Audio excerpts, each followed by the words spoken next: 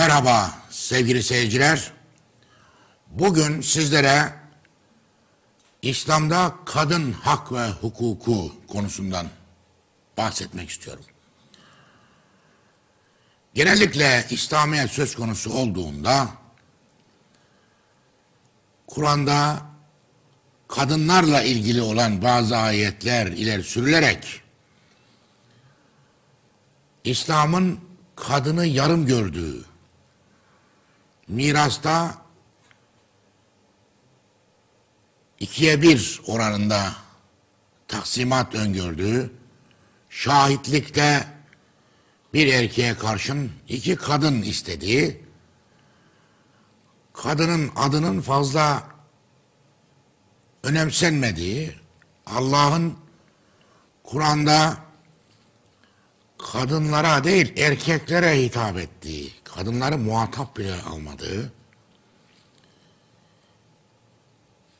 Kur'an'da çok eşlilik olduğu, kadınların evde oturmalarının istendiği, dışarı çıkmalarının iyi görülmediği, örtüye, çarşafa bürünmelerinin istendiği, evlenmede kendilerine fikir sorulmadığı, boşanma haklarının olmadığı,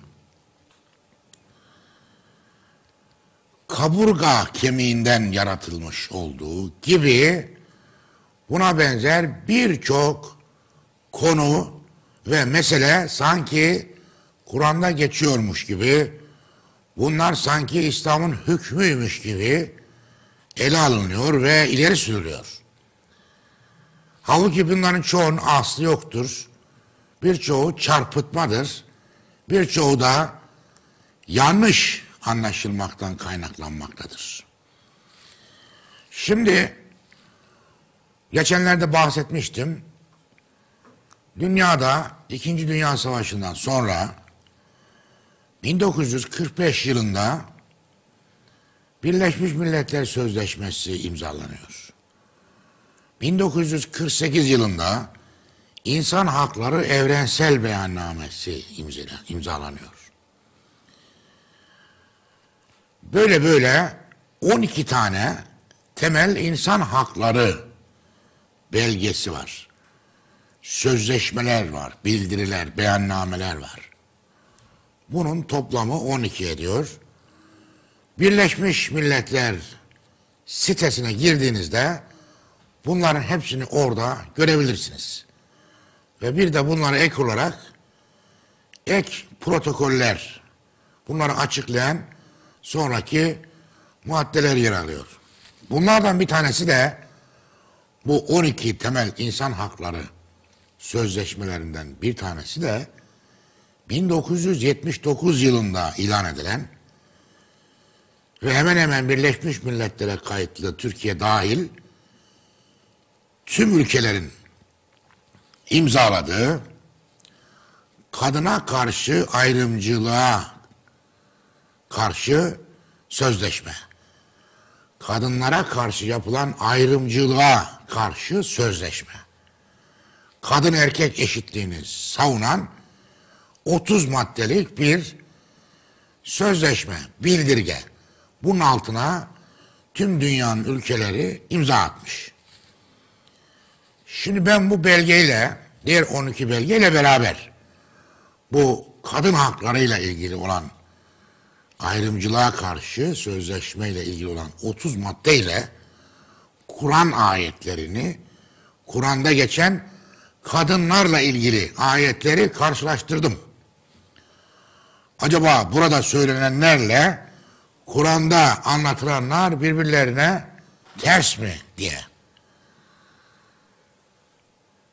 Hemen söyleyeyim ki burada anlatılan kadın erkek ilişki e, eşitliğini öngören, kadınlara karşı ayrımcılığı, kadın olmaktan kaynaklanan ayrımcılığı reddeden ifadelerle Kur'an'da geçen kadın erkek ilişkilerini düzenleyen ayetler arasında bir çelişki, bir zıtlık, bir tersleşme yoktur. Tabi bunu söyleyince hemen birkaç konu ileri sürülecektir. Bunlara kısaca değinelim. Mesela denilecektir ki madem öyle niye Kur'an-ı Kerim'de çok eşitlik var? Çok eşitlik kadın erkek eşitliğine aykırı. Bir erkek dört tane kadınla evlenebiliyor. Ama tersi bir kadın dört tane erkekle evlenemiyor. İzin dahi verilmiyor. Ayıp karşılanıyor. Başka sözler söyleniyor. Bu bire dört anlamına gelir. Yani bir erkeği dört kadına eş değer görüyor manası çıkar deniliyor. Halbuki bu yanlış bir görüştür. Kur'an-ı Kerim'de çok eşlilik yoktur. Ancak Kur'an'ın hitap ettiği toplumda vardır. Kur'an hitap ettiği toplum poligamik, çok eşliliğin geçerli olduğu bir toplumdu. Dört değil, beş, altı, sekiz, on kadınla evlenebiliyordu bir Arap erkeği. Çünkü toplumsal şartlar, e, koşullar, kabile savaşları, kadınların nüfusu, erkeklerin ekonomik gücü elinde bulundurmaları, Arap patriarşisinin erkek egemen bir düzenin olması, feodalitenin hüküm sürüyor olması, bütün bunlar o toplumda böyle bir eşitsizlik doğurmuştu. Kadınlar aşağılanıyordu. İnsan yerine konulmuyordu, alınıyordu, satılıyordu. Mirasta hakları yoktu. Evlenmeye, boşanmada kendilerine sorulmuyordu. Mal ve mülk yerine konuluyordu. Pazarlara götürüp satılıyordu. İslamiyet ve onun kitabı olan Kur'an-ı Kerim böyle bir toplumda doğdu. Bir kadın öldüğü zaman siyah bayrak asıyordu evine. Üç gün bekliyordu erkekler kapısında. Kadın dışarı çıktığında ilk cübbeyi kim atarsa onunla evlenme hakkı oluyordu. Kadının durumu çok kötüydü. Kur'an-ı Kerim kadın erkek ilişkilerini düzenleyen ayetler gönderdi. Ve bu ayetlerin tamamına baktığımızda mutlaka bir hak erkeklerden alınıyor, kadınlara veriliyordur. Bu ayetlerin tamamında mutlaka kadının durumunu düzeltmeye yönelik, daha iyiye götürmeye yönelik bir ifade vardır. Çok eşlilikle ilgili ayet de böyledir. Nisa suresinin üçüncü ayetinde geçer. Orada denilir ki eğer yetimlere yapmaktan, yetimlere haksızlık yapmaktan korkuyorsanız o hoşlanarak evlendiğiniz kadınlardan dörder, üçer, ikişer azaltarak evlenin. Hatta bire indirin.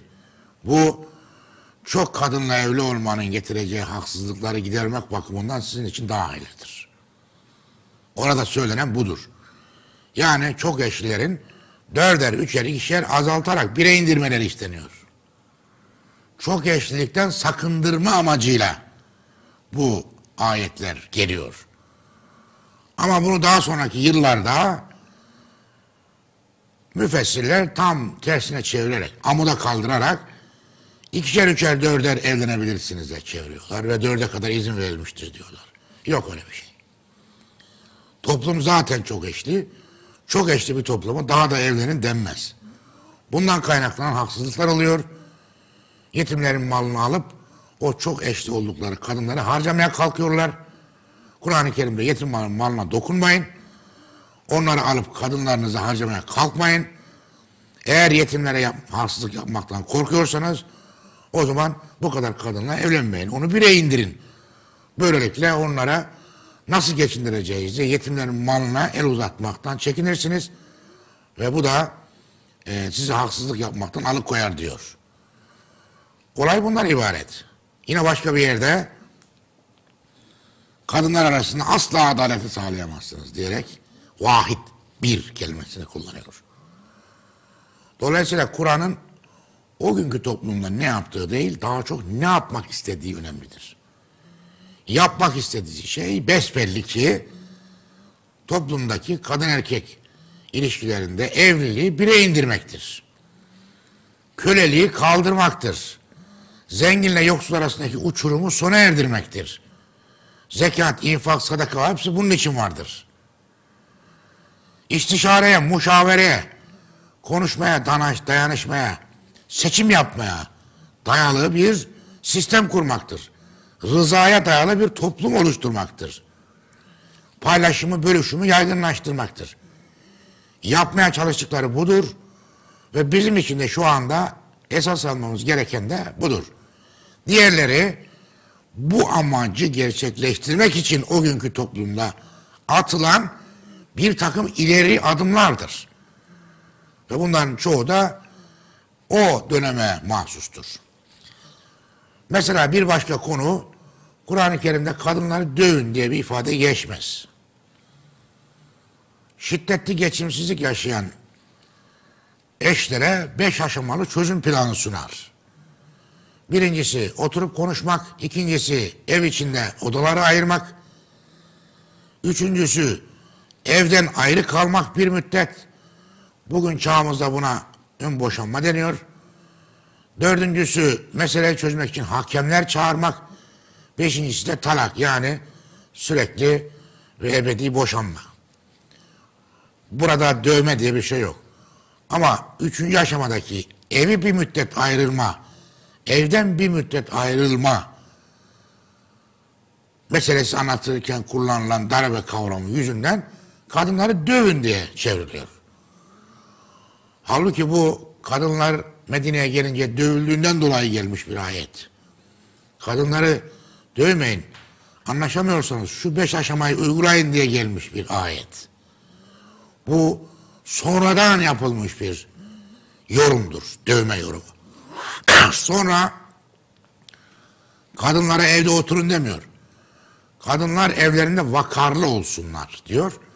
Ama bunu çevirirken kadınlar evlerinde vakarla otursun diye çeviriyorlar. Evde vakarla oturmak ayrı bir şey, evde vakarlı olmak ayrı bir şey. Vakar asalet demektir. Yani davranışa göre, kişilere göre, yere göre, ortama göre, zamana göre davranışlarını değiştirmeyen kişiye asalet sahibi denir. Yoksul geldiğinde bir türlü, zengin geldiğinde bir türlü.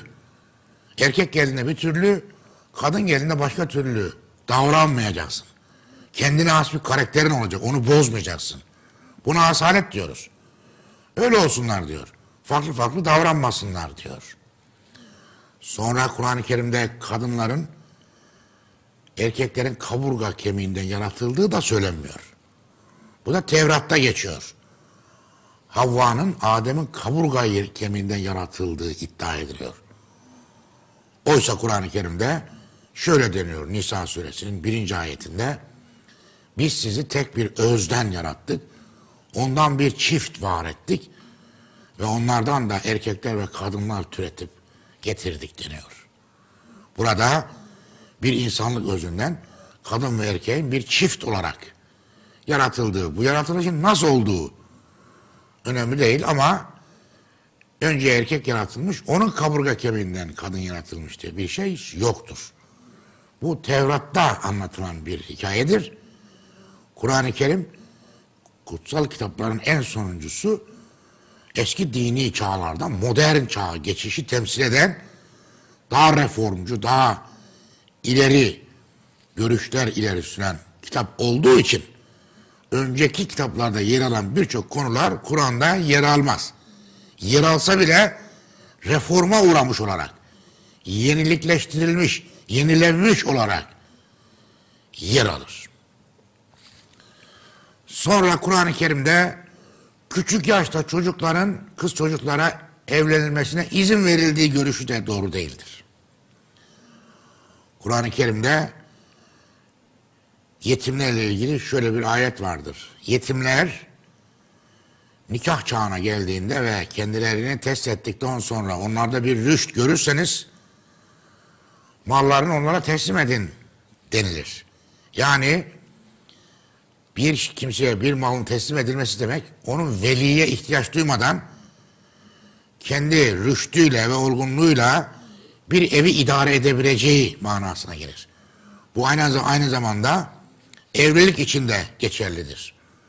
Şu halde kendileri yetimler, yetim kızlar nikah çağı, buluğun nikah, nikah çağına gelince ve kendilerini test edip bir rüşt görürseniz onları evlendirin diyor.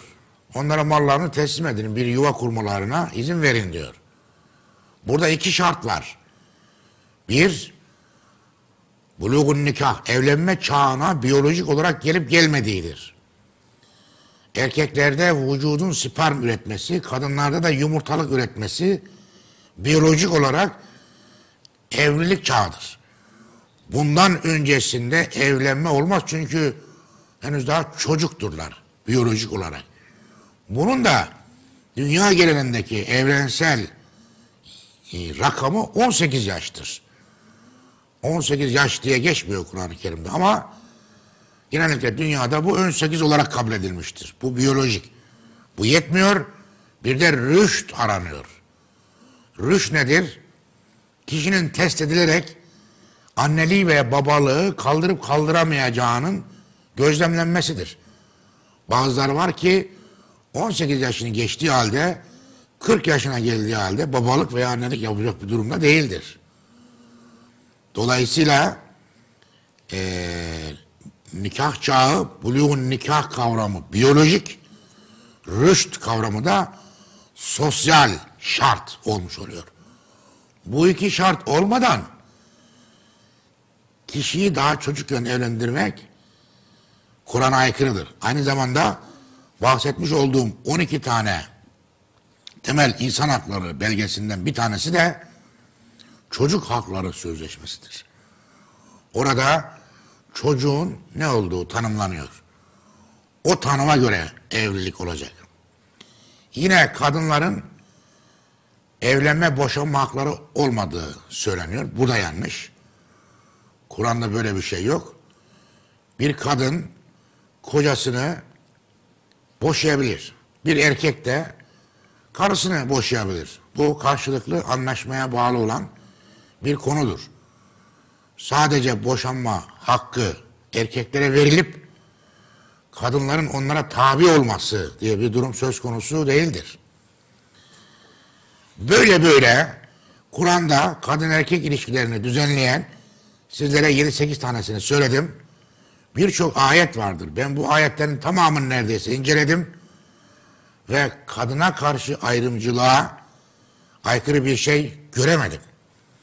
Keza mirastan pay almakta ihtiyaca göre kimin ihtiyacı varsa ona daha fazla vererek bölüşüldüğü zaman çağımızda şeriata göre bölüştürülmüş olur.